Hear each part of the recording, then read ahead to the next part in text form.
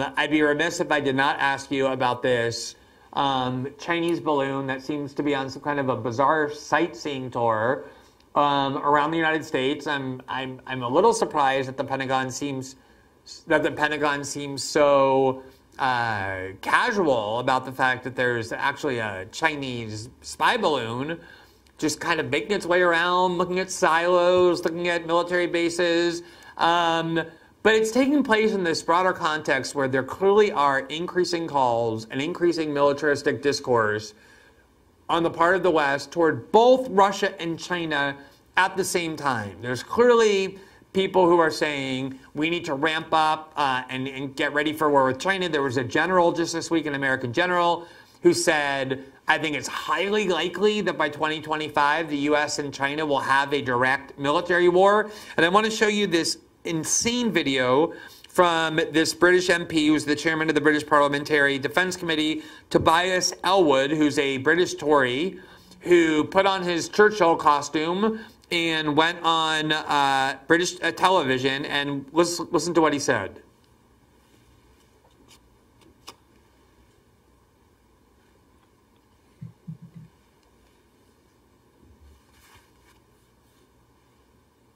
We need to face Russia directly and let me let me start that again. Go ahead. are now at war in Europe. We need to move to a war footing. We are involved in that. We've mobilized our procurement processes. We're gifting equipment. We need to face Russia directly and reckon, rather than leaving Ukraine to do all the work. No, Michael, if I'm the Kremlin and I'm sitting there listening to somebody like this in that accent from Britain say, let's go to war in Russia, like real war, let's go have like a real war with them, I'm not exactly worried because this is what the British love to do. They really have nothing left, British elites, other than this kind of posturing. At the same time, the fact that it's just acceptable now, and you, we've had this from the beginning of this war, British, British generals and then Western pundits increasingly saying not that we should be in a proxy war, but a direct war with Russia over Ukraine. At the very same time, you now hear explicit statements saying we also need to head toward a war with Russia, with China, certainly a Cold War, maybe even a direct war, as this kind of Chinese balloon floats around the United States. What do you make of all this? What is it that, that you think is the important takeaways from these events? Well, first of all, Tobias Ellwood, that particular British MP, and I reported on this around in uh, April of last year, has been consistently trying to cook up schemes whereby the UK military would somehow lead the way in escalating the Ukraine war into a direct military confrontation with Russia, and then the US would be forced to follow along because the UK finally is, you know, uh, reliving its World War II glory and showing itself to be at the vanguard of like saving civilization or something. So that's been his uh, shtick for quite some time. But you know, it's not just people rhetorically calling for some sort of confrontation with China. The U.S. published its nuclear posture review last October. And in that nuclear posture review, which is the Pentagon's statement of policy in terms of how the U.S. will be operating its nuclear arsenal and like under, under what circumstances the U.S. would actually deploy nuclear weapons, it says that the U.S. needs to have the capability to wage simultaneous nuclear war with two powers at the same time without those being China and Russia.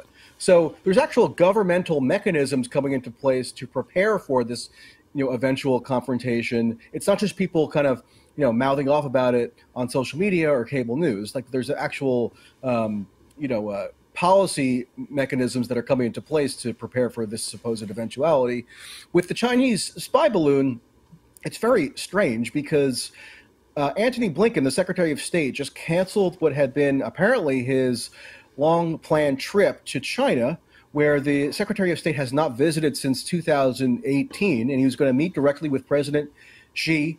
And it was going to be at least somewhat indicative of like maybe a slight thaw in relations between China and the U.S. after there had been peaks of tension over the course of the past several months, maybe maybe uh, culminating with Pelosi's um, uh, sort of uh, harebrained trip to Taiwan in August of last year.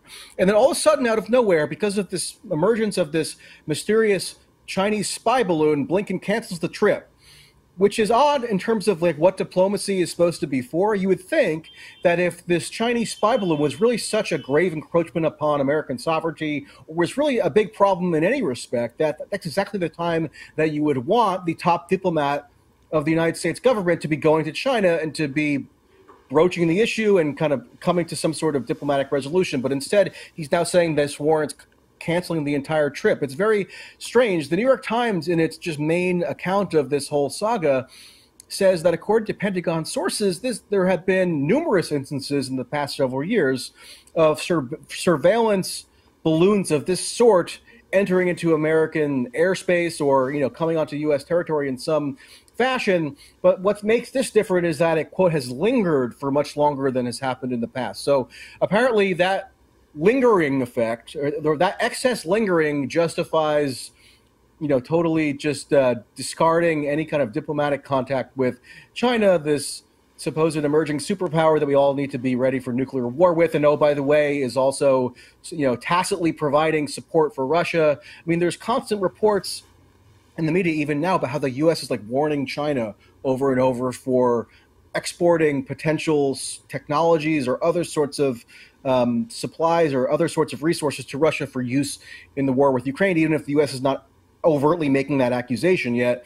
Uh, clearly, the idea is that those two countries are increasingly wedded to one another and you know form this joint enemy behemoth that we all need to be orienting our political systems and societies around the need to combat.